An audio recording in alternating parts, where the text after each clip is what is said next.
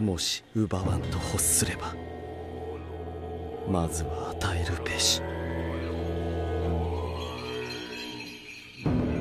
もし弱めんと欲すればまずは強めるべし。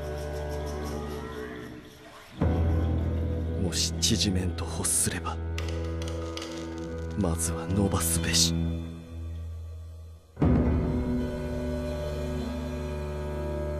思考して。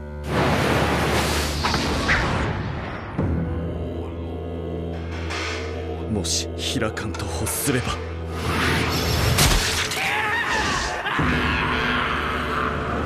まずは蓋をすべし。